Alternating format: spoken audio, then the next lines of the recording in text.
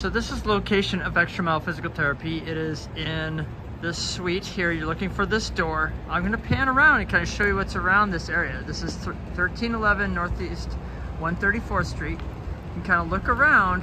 You can kind of see there's that awning right here, um, right about there, of the taco stand over there, okay?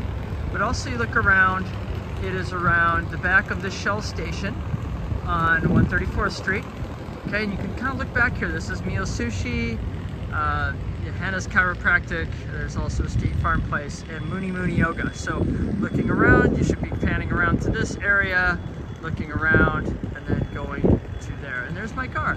So anyway, hopefully that's quick and easy, uh, pretty simple and basic. But this is the place, uh, you know, most people get lost around the corner. If you're in front of like, uh let's see, uh, kitchen table and uh, evergreen eye chair, you're in the wrong spot. You just come around this building. But this is the building.